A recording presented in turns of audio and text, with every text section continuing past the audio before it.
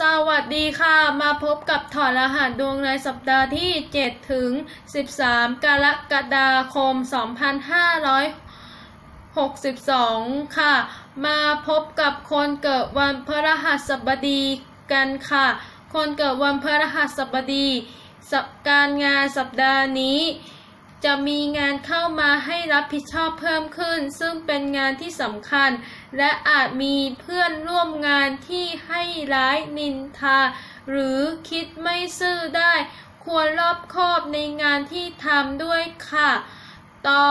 การเงินสัปดาห์นี้ไม่สดใสไม่คล่องมือ รายรับอาจไม่เข้าตะไม่เข้าตามตรง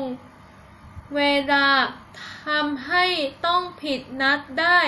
อย่าใจร้อนก่อนหนี้สินเพิ่มนะ ควรคุยเจรจาต่อกันดีๆ ค่ะ ต่อความรัก สัปดาห์นี้ ร่วมใจรักใคร่กันดี ช่วยเหลือพึ่งพากันไปได้ ช่วยแก้ไขปัญหาต่างๆที่เข้ามา พร้อมใจกันเชื่อมั่นต่อกันดีค่ะ ส่วนคนโสดได้พบคนที่ใช่อาจมีข่าวดีเข้ามาค่ะ ต่อ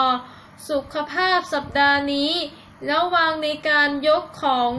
ต่างๆ อาจเกิดอุบัติเหตุได้ ควรหาอาหารเสริมบำรุงร่างกายบ้างนะคะ จบคำทำนายแล้วค่ะ ถ้าชอบกันก็ช่วยกันกดติดตามและแชร์ด้วยนะคะ เพื่อเป็นกำลังใจให้กับทันเด็กพิเศษถอดรหัสค่ะ ขอขอบพระคุณค่ะ ถ้าหากมีคำถามเพิ่มเติมหรือเช็คดวงเพิ่ม ติดต่อมาที่อินบ็อกซ์แฟนเพจดวงดีดีประจำวันนะคะ ขอขอบพระคุณค่ะ